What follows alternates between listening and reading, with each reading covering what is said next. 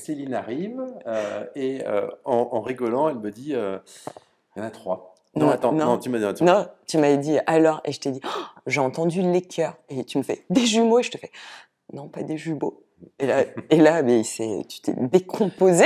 Donc moi, je m'appelle Céline, je suis la maman de Lina, qui va avoir 18 ans, des jumeaux Lohan et Maë, qui vont avoir 16 ans. Et moi, je m'appelle Clément, je suis le papa de Brice qui a 15 ans et de Julia qui a 12 ans. Et à tous les deux, on a eu, grâce Molly et Jade, des triplés qui ont maintenant 28 mois. Ça faisait un moment qu'on voulait euh, un petit en commun. En 2016, je suis tombée enceinte. Euh, J'ai dû euh, subir une, une IMG parce qu'il n'était pas placé au bon endroit et que c'était dangereux. Il m'a fallu un petit peu de temps pour euh, digérer tout ça. Et, euh, et puis après, on s'est dit, bon, allez, on retente. Mm. Et on a galéré. Oui, c'était long. hein. C'était long. On a été voir un médecin qui nous a dit qu'il faudrait suivre un parcours PMA. Voilà. Et il y a eu le confinement, donc tous nos rendez-vous médicaux ont été annulés et euh, je suis tombée enceinte. Sans Naturellement, sans Mhm. PMA de triplé. Bah, déjà, on était en plein, en plein Covid, donc euh, moi je pouvais aller euh, que seule en fait aux examens médicaux. Donc, Moi, j'attendais dans la voiture. Donc lui, il attendait dans la voiture et en fait, ça a duré euh, une semaine. On ne savait pas trop euh, parce que euh, mes prises de sang étaient bonnes, mais le gynéco euh, voyait rien et il comprenait pas ce qui se passait. Il me disait c'est bizarre, vos taux sont hyper hauts, je comprends pas, mais c'était très très tôt dans la grossesse. Et, euh, et à un moment, il me dit ah, le vendredi, il me dit il me semble voir peut-être deux ou trois poches, je suis pas sûre. Il me dit on se revoit lundi et euh, on repasse une écho. Fais, Il était inquiet quand même parce qu'il a... ouais, as failli subir une intervention. J'ai failli subir une pour, euh, intervention. Il disait il y a un truc qui va pas. Faut... Ouais. En fait, j'avais fait une petite hémorragie à une trompe. Et en fait, euh, après, quand on a su qu'il y en avait trois, tout s'est expliqué. Bah oui, forcément, parce que j'ai euh, libéré trois ovules, donc ça fait une petite hémorragie. Enfin, euh, voilà. Et du coup, je dis ça à Clément le vendredi. Il me dit, non, il me dit, ah, deux, oui. Il me dit, mais trois. Il me dit, mais c'est pas possible. On a plus de chances de gagner au loto que de faire des triplés naturellement, quoi. Et le lundi, donc, Clément m'attend sur le parking et je retourne faire mon écho. Et là, le gynéco euh, dit, il y en a trois. Je fais, non, ouais, c'est ça. Il me dit, non, non, il y en a trois. Et là, il me fait l'écho et il me met en route. Et en fait, j'entends euh, trois petits cœurs. Moi, j'attendais dans la voiture. Céline arrive euh, et euh, en, en rigolant, elle me dit il y en a trois. Non, Non, attends, non, non. tu m'as dit. Non, tu m'avais dit alors. Et je t'ai dit, Oh, j'ai entendu les cœurs. Et tu me fais des jumeaux. Et je te fais, non, pas des jumeaux. Et là, et là mais tu t'es décomposé. J'étais assis, ça tombe bien. Donc, mais, mais ouais, c'est quelque chose qui était tellement improbable. euh, Tout de suite, en 4 secondes, on se dit comment on va faire? On a déjà 5 enfants, on va être 10 pour la maison, pour la voiture, même pour le travail de scie. Donc, en 4 secondes, j'ai tout ça qui me passe euh, dans la tête. Et je me dis, mais euh, ça va être la galère. Une fois qu'on apprend la, la super nouvelle, j'ai quand même regardé sur Internet en me disant, mais quelle probabilité il y a d'avoir des triplés naturellement? J'ai jamais entendu ça autour de moi. Enfin, et j'ai regardé, ouais, c'est une naissance sur 11 000. Donc c'est quand même pas beaucoup. Donc c'est pour ça qu'on s'y attendait, mais pas du tout. Quoi. Une fois que vous l'avez su, comment euh, vous l'avez annoncé euh, à, vos, à vos enfants? En fait, on a dû leur dire assez tôt parce que j'étais euh, j'étais très malade les trois premiers mois et, et en fait, euh, bah, vu que les hormones sont multipliées, les, les symptômes sont multipliés aussi. Donc des nausées, mais terribles, terribles, terribles. Donc on leur a annoncé assez rapidement et, euh, et du coup on, les a- on leur a dit bah, venez, euh, venez autour de la table, on a quelque chose à vous annoncer. Et là, du coup, donc il y avait euh, nos cinq ados qui, euh, alors pour certains, se doutaient qu'on allait vouloir un petit dernier, d'autres auraient été à milieu de Oui, l'imaginer. c'est ça. donc les réactions, euh, ça a été marrant parce qu'elles étaient vraiment différentes euh, les unes des autres. Ce qui est vachement chouette, c'est qu'il y a un, un grand écart d'âge en fait entre bah, les grands et les petites dernières.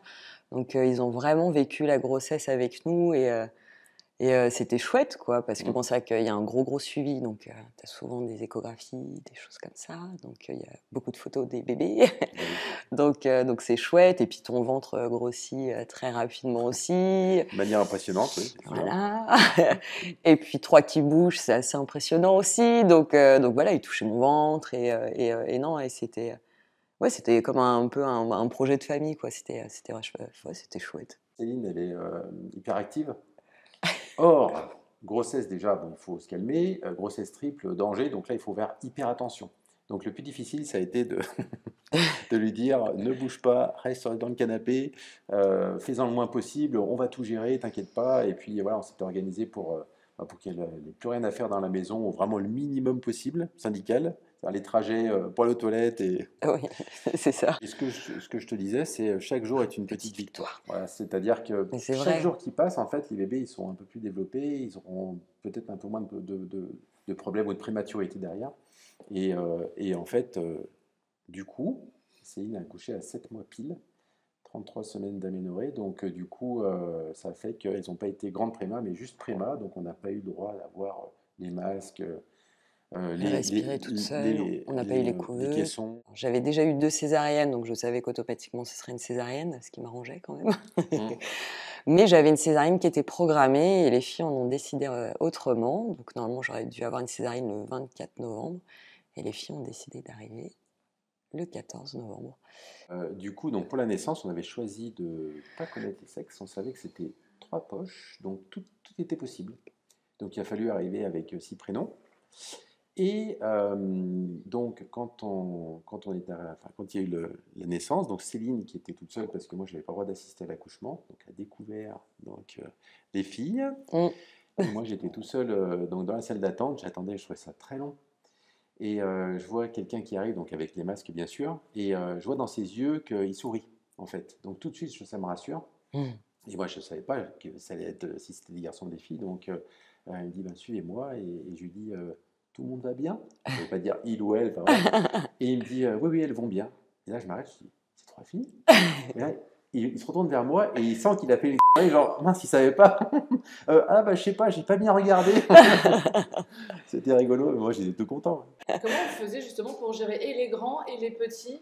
Alors euh, c'était enfin c'était c'était très sportif au début. hein. Bah, déjà les grands étaient contents euh, de pouvoir câliner parce que c'est hyper agréable des bébés dans les bras, donc ce qui était cool. C'est comment tout le monde en avait un dans les bras. Puis, euh, et puis après, ils étaient grands, donc ils comprenaient qu'on on était aussi euh, moins disponible pour eux, mais, euh, mais ils voyaient bien qu'on faisait notre maximum pour être euh, bah, toujours euh, les mêmes parents qu'avant, même si on dormait peu, même si euh, Mm. voilà, on gérait notre rôle comme on pouvait. Et puis on essayait aussi de les week-ends, sur les temps de week-end, Clément il allait les emmener au cinéma, manger un petit bout à l'extérieur pour leur montrer bah, qu'on qu'on les oubliait pas. Et, et, et voilà. Et ça a fait. Du coup, avec huit enfants à la maison, comment ça se passe euh, la vie de couple? Il faut dire que la première année, on a eu un peu la tête sous l'eau quand même. Ouais. C'est, enfin, t'es vraiment en mode robot, quoi. T'as pas le temps de penser à, à ton couple, c'est difficile. Donc, euh, t'es vraiment, voilà, en mode robot parent, euh, les ados, les petites, euh, voilà. Et, euh, et après, on s'est dit, ah, ça fait un moment quand même. ça pourrait être agréable d'être juste tête, deux adultes. an, ouais. Ouais, non, mais c'est ça, c'est qu'en fait, c'est passé tellement vite. Et donc euh, voilà, on a, on a de la famille, on a des amis euh, qui sont assez fous pour nous garder euh, tous- nos enfants. Donc, donc on arrive à se prendre du temps. Le truc, c'est que voilà, on voulait un enfant, on n'avait jamais prévu d'en avoir trois. Donc moi, ça collait avec mon métier d'assistante maternelle en disant bon ben voilà, j'ai tant de place pour accueillir les enfants, je pourrais continuer à travailler en même temps. Et en fait, ben non, je, Avec trois, t'as plus de place. ouais. J'ai plus de place, j'ai pas pu continuer de travailler. Donc en fait, tu passes d'un salaire plus que correct à pas grand chose. Donc ouais, c'est un petit peu compliqué, mais, mais voilà, on a fait, on fait attention au niveau de la nourriture, on fait attention aux sorties, on, fait un peu plus attention à tout quoi. La, la nourriture, on compte par semaine. C'est plus simple. On, on essaye de ne pas dépasser 350 euros par semaine. Nourriture, pharmacie. Mm. Bah, si, que- on rajoute, si on rajoute tout, c'est un peu Ouais, plus que ça. ouais, la nourriture, déjà 350. Quand on y arrive, c'est beau. Ce que, ce que ça nous apporte euh, de, de passer dans l'émission euh, Famille Nombreuse, c'est euh, en fait, euh, ça, ça nous laisse des beaux souvenirs pour les enfants, pour plus tard. Et euh, c'est vrai qu'on a, quand on a dit OK pour, euh, pour, pour faire l'émission, euh, on voulait vraiment montrer notre, euh, notre vrai quotidien quoi, de, de famille nombreuse. Il n'y a, pas- il y a, y a rien qui est modifié, Ah oui, rien non. qui est caché. Euh, voilà, C'est- Notre naturel. vraie, vie à, notre vraie vie à 100%. J'es- J'espère que ça se voit sur le. Oui. Et euh, voilà, ça, ça nous apporte euh, ben, plein de choses, plein de choses sympas. Déjà, euh, voilà, c'est des moments, Non, c'est hyper des agréable les tournages. sympas. On, on- ouais, on- je sais pas si on peut dire qu'on rigole bien, mais on s'amuse bien, en on s'amuse bien. C'est quand même ouf, quoi. Tu passes à TF1. Ça arrive pas. Enfin, on ne te propose pas ça tous les jours. Donc, et tu sais que on te le proposera peut-être qu'une fois dans ta vie. Et, euh, et en fait, la condition, c'était vraiment que les ados soient OK. Les ados étaient euh, surexcités, euh, pareil. Donc, donc on s'est lancé dans l'aventure. Et, Et, Et là, ouais, ça fait trois mois qu'on est diffusé, ouais, trois mois et demi. Et, euh, et les retours des ados sont super bons. C'est-à-dire qu'il on avait peur de ça. n'y a aucune malveillance de la part de- de- des camarades. Donc, nous, ça nous convient. Ben, on voudrait remercier euh, ben, voilà, tous, ceux qui, tous ceux qui nous suivent. On ne se rendait pas bien compte de ce qui allait nous arriver, mais c'est vrai qu'on a énormément de, de retours euh, hyper positifs, hyper Ouais, gentils. euh, Bienveillant. et ouais. bienveillant de beaucoup de monde. Donc voilà, nous, ça nous touche beaucoup. Voilà, on nous dit plein de belles choses sur notre famille et, et c'est vrai que ça, c'est pour nous, c'est quelque chose qui, qui nous réchauffe le cœur aussi beaucoup au quotidien.